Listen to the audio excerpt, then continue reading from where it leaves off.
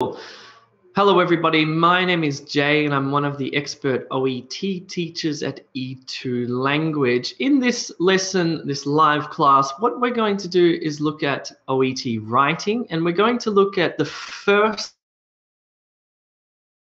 three skills that you need, or the, the first of a three-step method.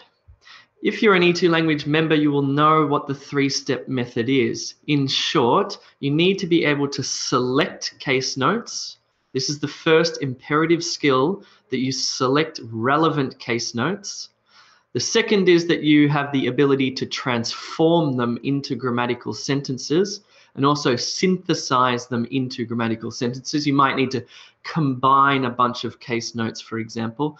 The third step of the method then is to organize the case notes into logic coherent letter. So we're going to look at selecting case notes. This seems like an easy thing to do, but it's it's got a lot of subtlety to it. There's actually it's it's quite challenging and there's a lot of things that you probably need to understand in order to select the right case note. So we're going to have a look at this letter here that I've just prepared earlier. So it's going to be for nurses, but even if you're a doctor or a physio, let's just go through this one together. All right. Now, on test day, the first thing you should do is, well, skip all the case notes. Because what you need to do in that reading time, you have five minutes reading time. What you need to do first is understand who you are writing to.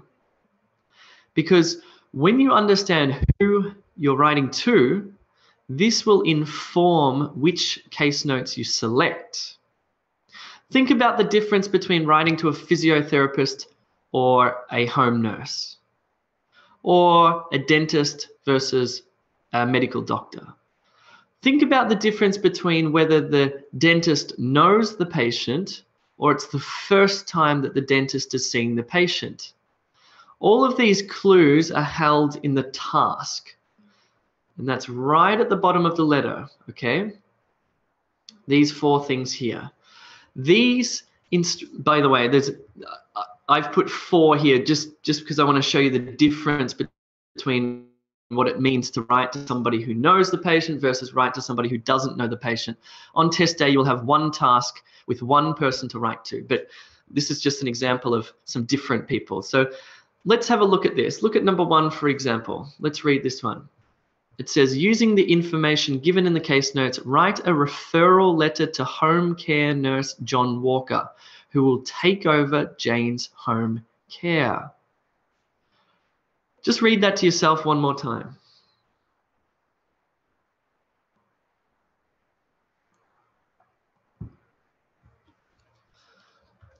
What can we ascertain? What can we understand from this task? Okay, first we can understand that we're writing a referral letter. Second, we're writing to a home care nurse. These are all important things that we need to understand. But have, have a look at the third part, this part here. John Walker, who will take over Jane's home care. Just type into the chat, does this home care nurse know Jane or not? Yes or no? Does John Walker know Jane? Yes or no? Put it into the chat, please.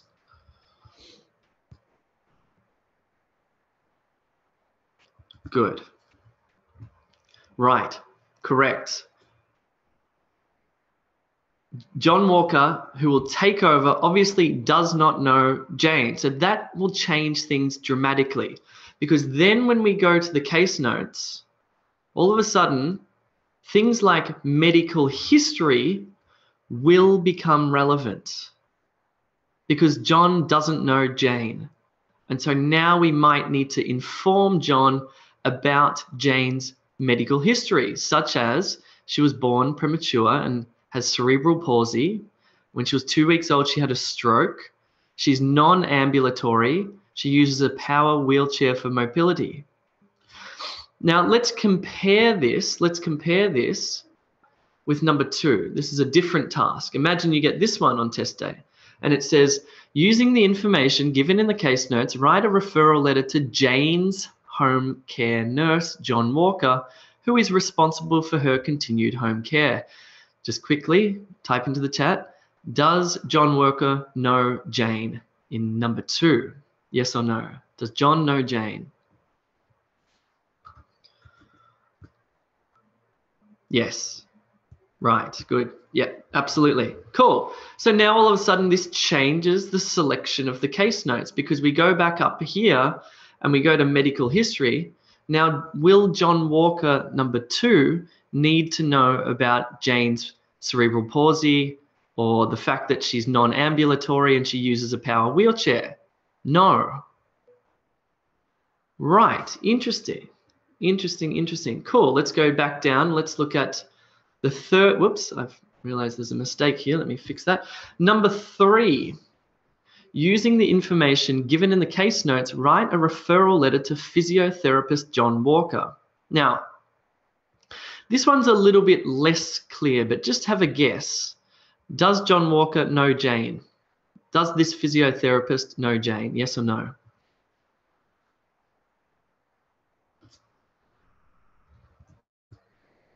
Good. Yeah.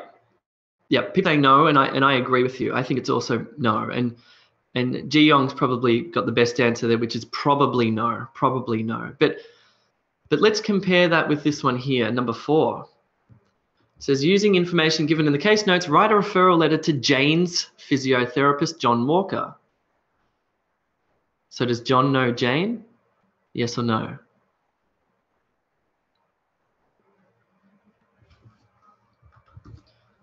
Yes, I agree. And I mean, it's a tiny little thing here that's made the difference. Have a look at this. This is this is a tiny little. Look at this apostrophe S Jane's physiotherapist. There you go. So that very small little bit of grammar and punctuation there has now told us that in fact Jane knows John Walker, and therefore this will determine an entirely different selection of case notes compared to if John didn't know Jane. And so reading the task is absolutely critical that you get that right. And paying attention to tiny little details such as Jane apostrophe S can make the difference between you getting a, a, an OET A, B, or a C or a D, because who knows what case notes you'll select. Cool. So now we're thinking about the difference between, okay, we've got a we've got a home care nurse, and now we've got a, a physiotherapist. So let's think about this and look at some of these case notes here. Okay, physiotherapist. Let's see. Well, what's going to be relevant for the physiotherapist here? Well, it depends. Does a let's say the physiotherapist number uh, uh, uh, uh, three who does not know Jane? Yes, he'll probably need to know about the cerebral palsy, uh, certainly that she's non-ambulatory.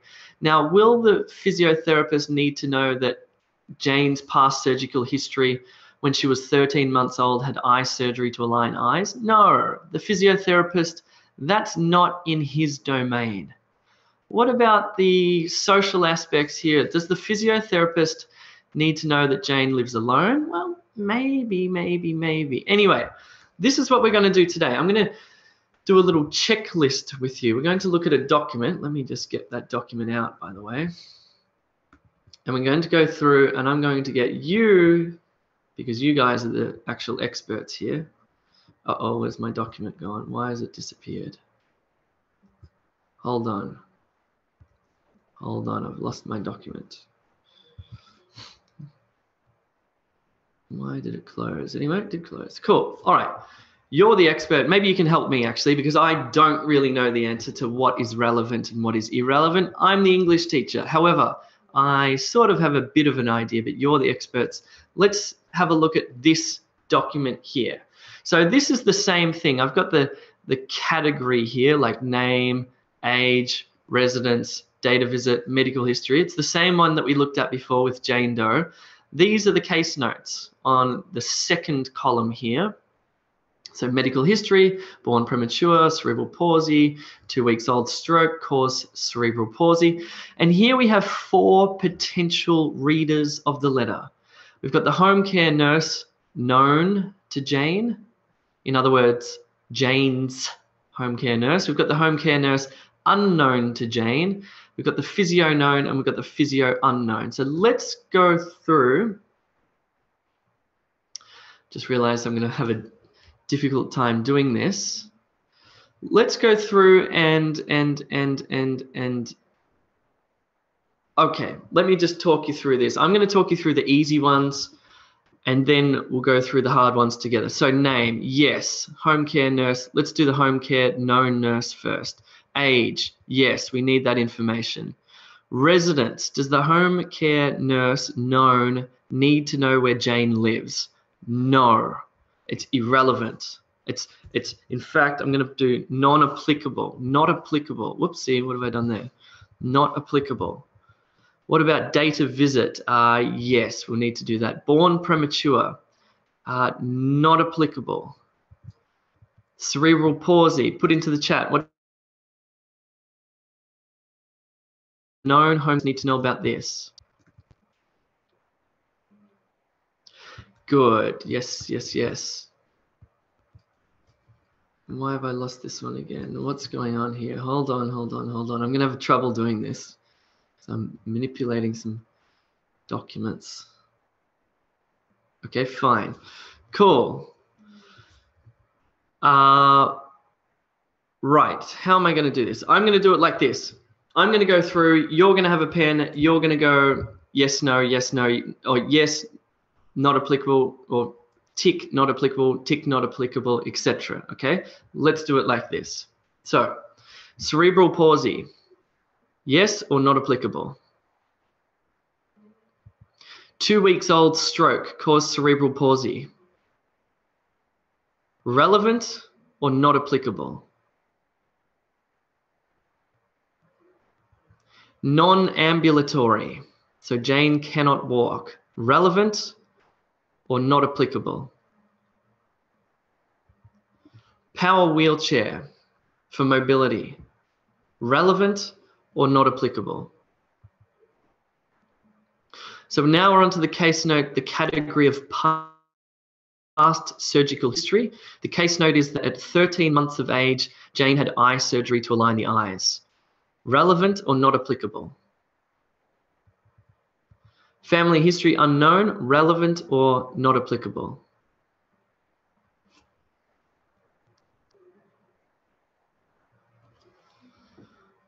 What about medications? Relevant or not applicable to the nurse who knows Jane?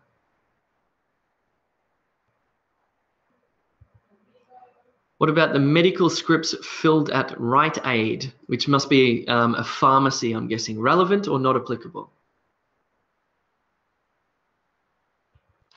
Medications are delivered by the pharmacy. Relevant or not applicable to Jane's home care nurse?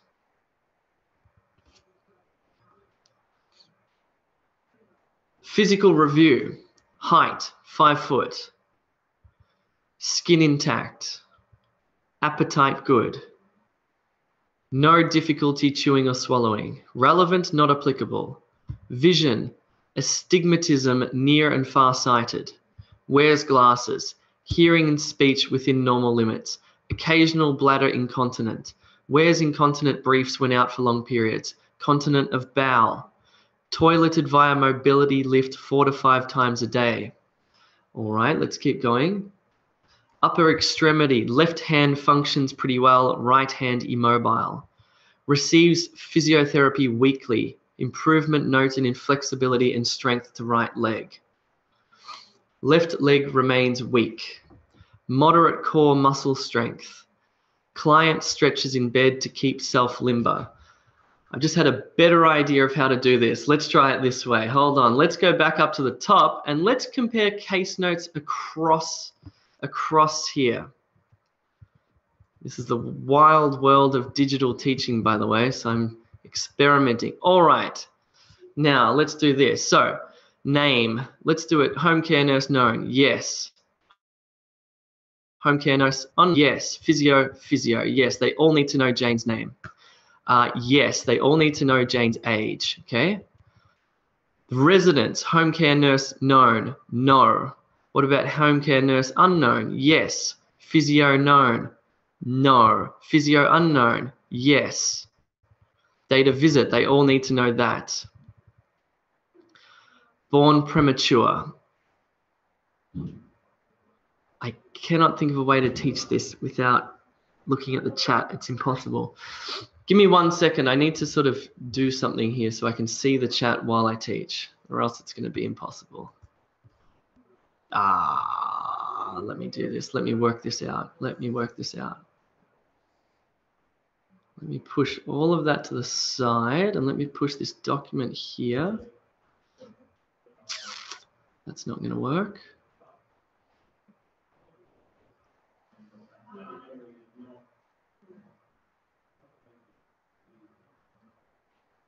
Um, hold on. So much for my great idea here. Hold on. How can I do this? How can I do this?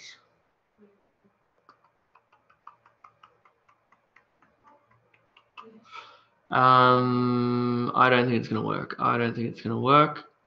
All right. How's this? I don't think this is going to work.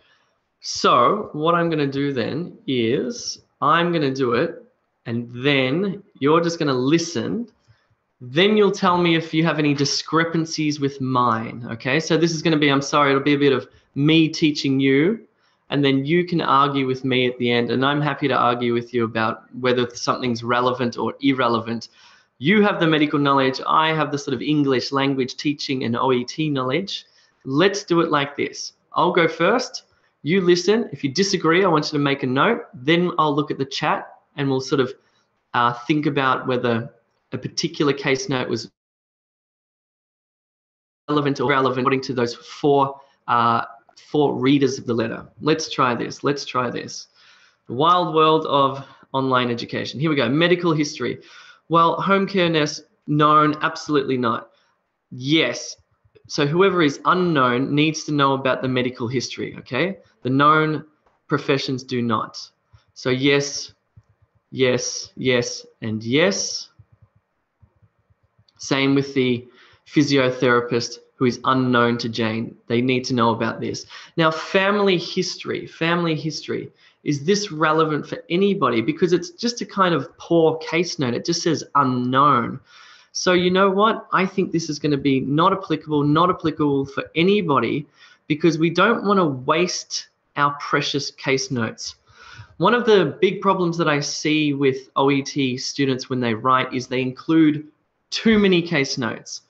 Now, one of the things the OET does is they give you more case notes than you need. You have a word limit of between 180 and 200 words in the body of the letter.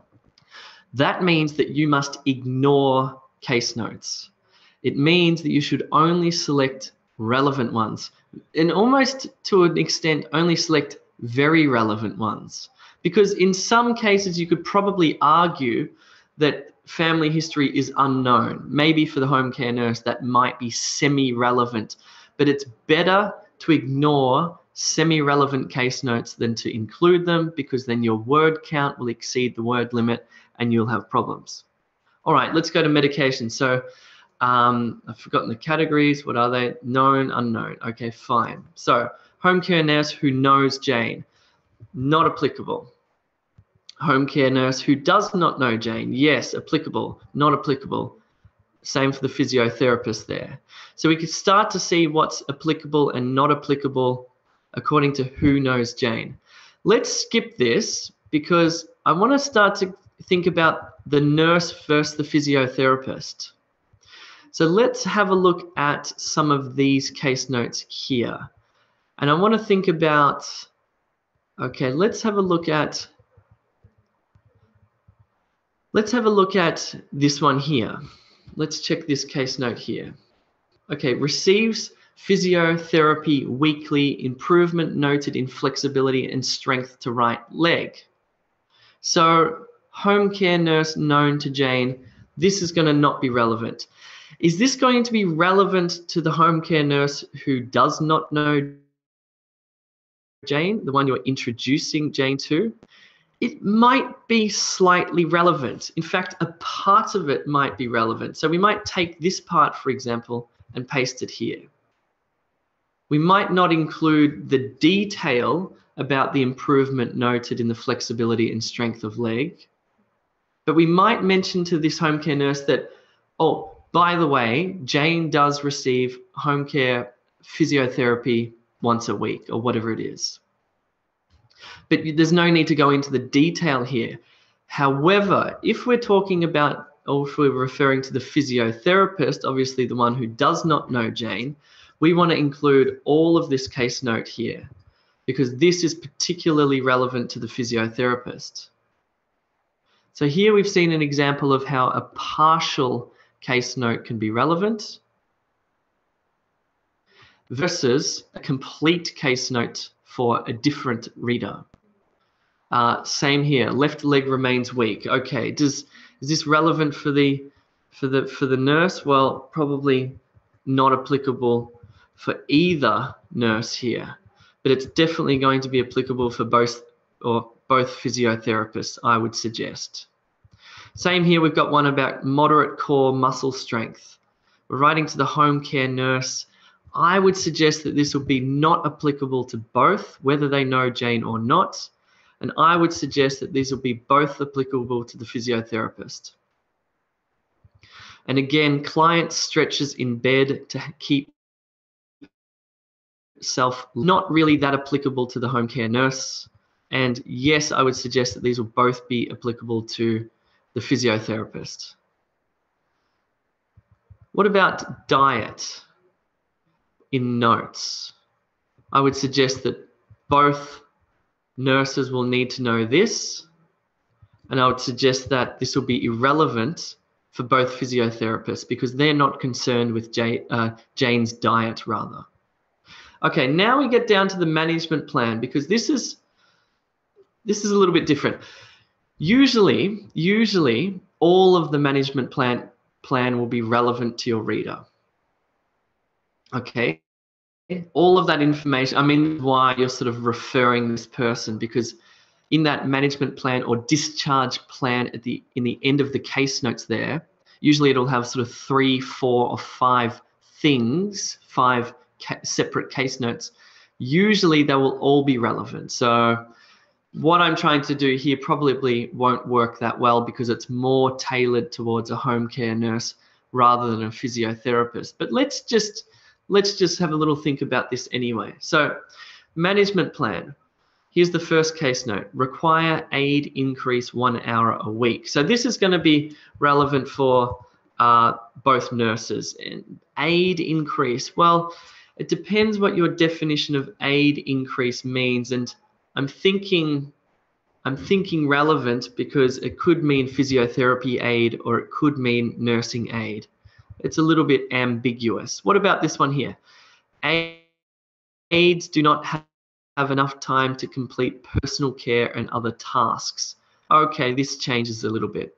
But I guess what I guess what it's all about is using your using your professional knowledge, thinking about what's relevant and irrelevant. But I think the next step beyond that is thinking about okay, We've got a case note. Is it partially relevant? That's probably the third step. Well, the first step is relevant, irrelevant. Second step is, is the entire case note relevant or do I just need a part of it? That's also something to think about. Uh, let's keep looking at these.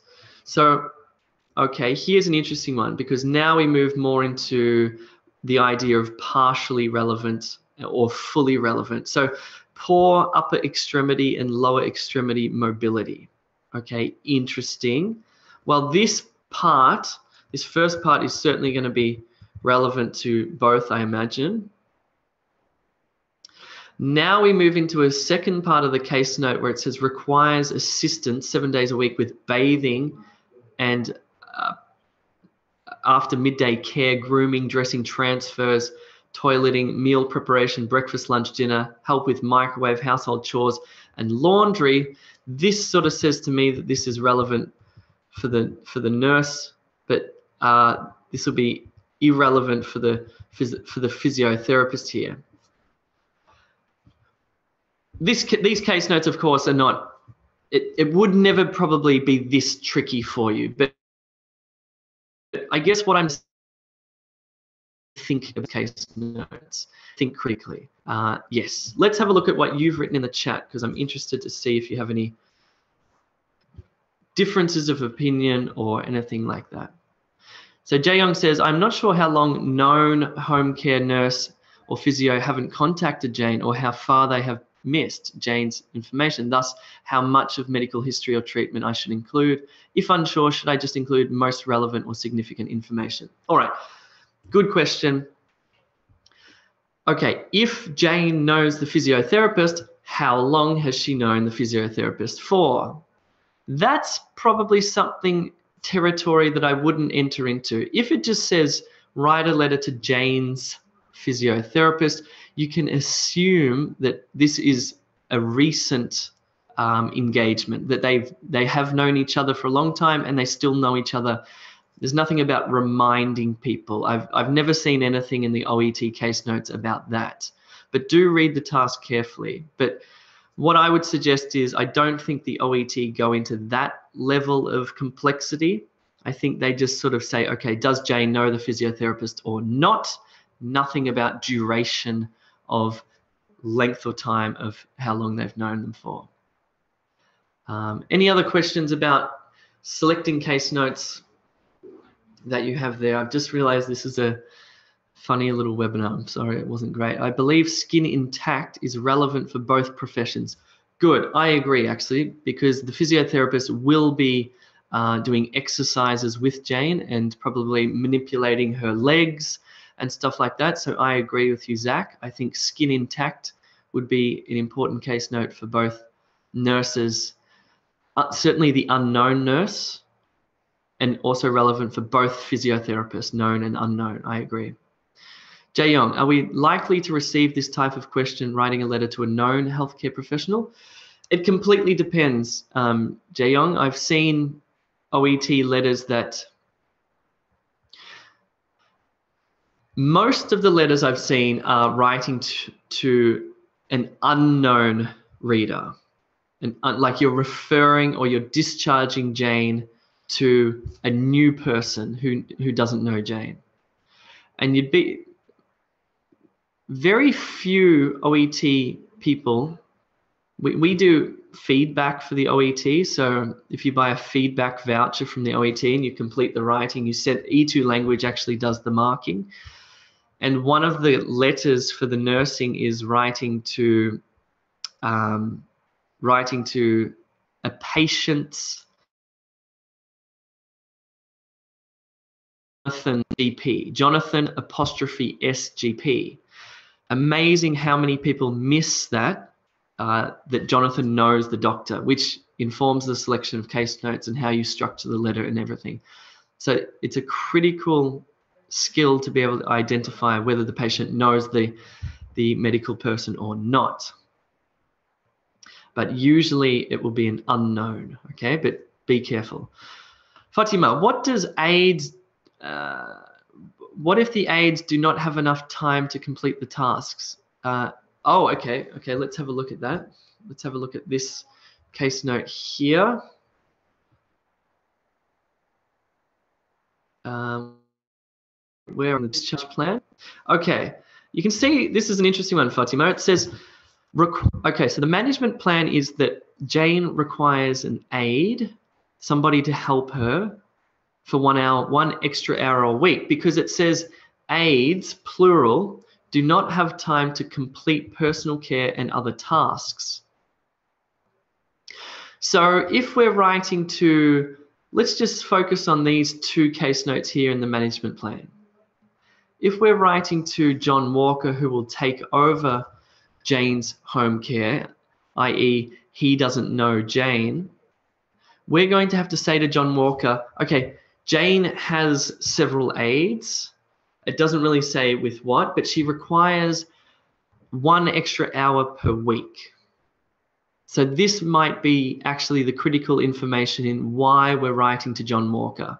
So we might start our letter by saying, Dear Mr. Walker, or Dear John, I'm writing to refer Jane Doe into your care, into your care for additional home help. Additional home help. So that might be the critical little phrase where the OET examiner looks at your letter and goes, ah, great.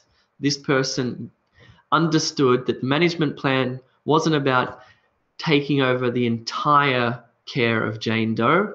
It was about adding a, an extra bit of time to Jane Doe's care. Okay. Again, would it be that subtle in the OET? I don't really know, but this is the kind of level of critical reading that you need to be able to do in that five minutes of reading time. Good question. Well done. Um, cool. Any other questions? Any other questions?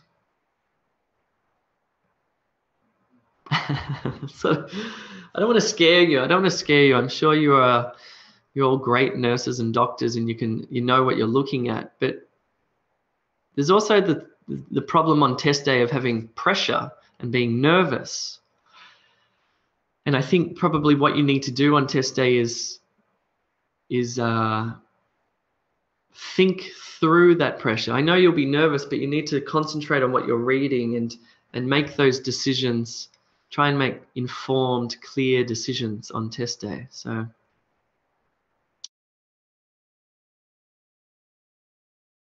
This one, it was a bit of a shamble. I, the first time I've I've done this one. Um, yes, it obviously didn't work that, that well.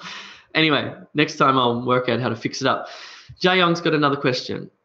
Um, in the listening subtest, can I still write or check my answers for part A during recording for instruction for part B? Is ah, um, okay.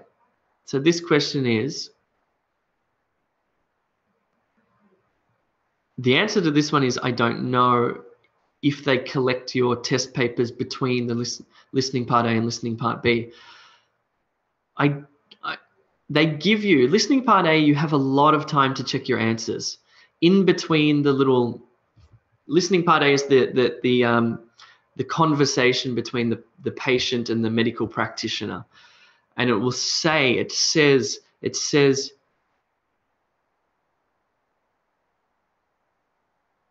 It says something. This section, you'll hear.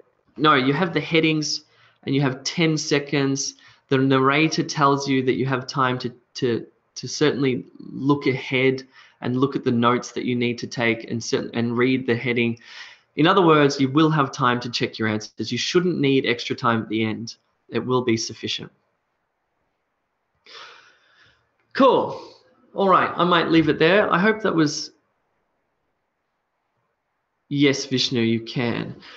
I hope that was helpful. Um, what I'll do next time is look at the transformation of case notes. That's an important one. And also the organization of case notes. So do keep coming along to these webinars. Um, if you have your test on the 5th of August, I wish you all the very best. If you need some help, do check out e2language.com uh, where you can view more of these uh, lectures and methods lessons and also access some practice materials and whatnot. Um, yes, Fatima, I'll send you this one. So if you're a paid e2language.com member, please um, send me an email to jay at e2language.com um, and I'll send you this task here because it'll make more sense for you to do it on your computer rather than have me screen sharing it. Anyway, I hope that was helpful. I'll see you guys soon. Ta-ta.